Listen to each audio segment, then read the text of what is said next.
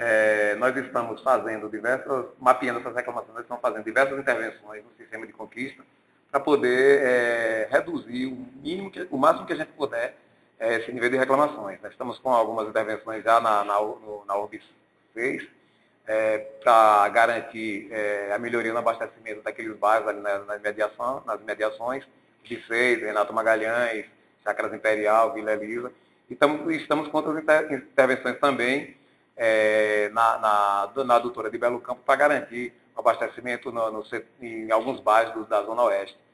Vamos fazer também intervenções na Avenida, na Rua Maranhão, né, para poder é, melhorar o abastecimento nos bairros de Ibirapuera, Guarani, Urbi 5.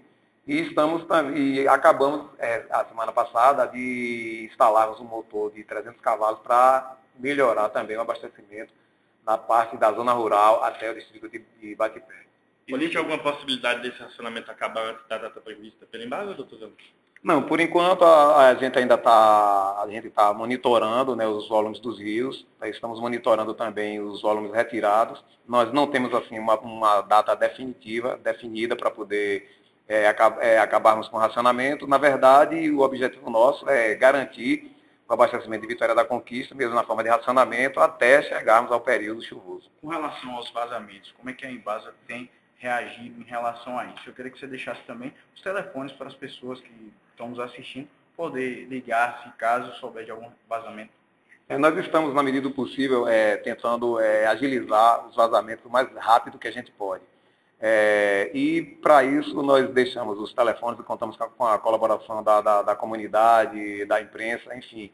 Sabemos da dificuldade do, do, do atendimento no 0800 por conta da demanda, que tem sido realmente um pouco além do que a gente esperava, mas nós disponibilizamos o 3423-9720 e o 3424-1212, onde as pessoas podem acessar para informar é, o local onde está ocorrendo qualquer tipo de vazamento. Qual a situação da barragem hoje?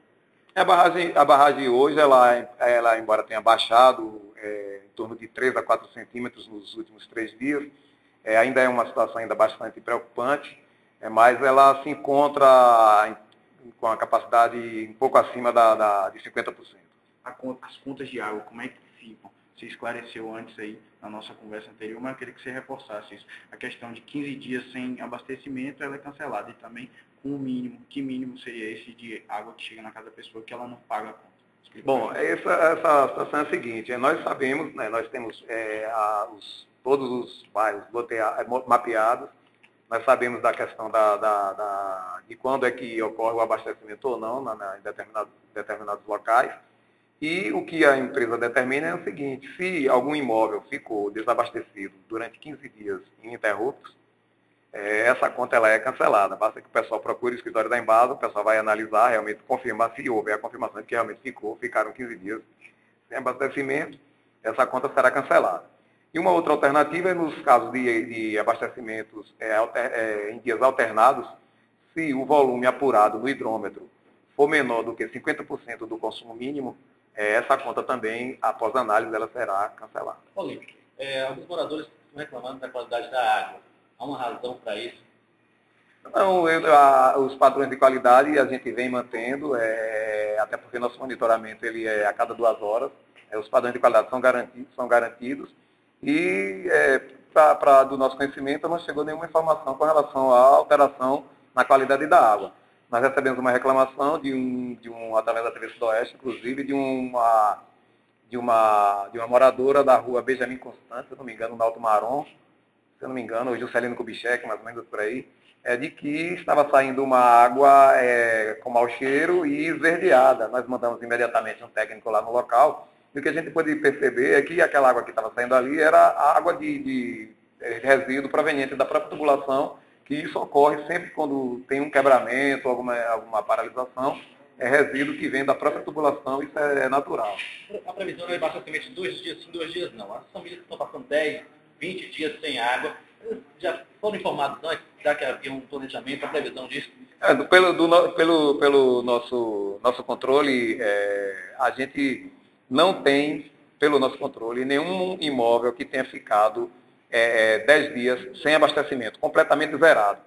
É, as pessoas que estiverem nessa situação, é, o imóvel que estiver nessa situação pode procurar nosso escritório aqui na Embasa para nós verificarmos o que realmente aconteceu. E se está ocorrendo, a pessoa deve procurar a Embasa né, através do 0800. Se, se ficar difícil de, de, falar pelo 0800, pode vir até nosso escritório aqui no local, com a conta na mão e apresentar, dizendo, informando que ficou 15 dias ou 10 dias, como você está colocando, sem abastecimento. Nós vamos verificar realmente o que ocorreu. Pode ser um caso pontual, pode também não ser, mas do nosso controle, eu não acredito que tenha alguma situação desse tipo. A captação do Rio Catulé já existe uma expectativa, a captação flutuante? Nós estamos é, concluindo a, a, a parte de, de, de, levantamento de inform, das informações técnicas necessárias para poder a gente é, passar essas informações para o departamento técnico lá em Salvador, para poder é, deflagrar, deflagrar, todo o processo visando é, a implantação desse sistema de captação. Os moradores do Santa Helena fizeram até uma manifestação recentemente, né? Devido à falta d'água, alguma intervenção foi feita? Como é que está a situação do bairro hoje? É, todas as intervenções, é, todas as, as, as, manifestações que são do nosso conhecimento e, e, e, das pessoas que nos procuram, nós temos dado um tratamento é, adequado, buscando, na medida do possível, o mais rápido que a gente pode, equacionar todos os problemas que são a nós dirigidos. A data da economia dos consistentes nesse né, relacionamento como? Não entendi. Economia, o que está sendo economizado é, né, em cada casa, tá, esses dados? Não, nós, nós estamos é, fazendo essa avaliação, eu acredito que amanhã a gente já deva ter essas informações de é, quanto é que, qual foi o, o, a economia que os conquistantes fizeram durante esse período de, de racionamento.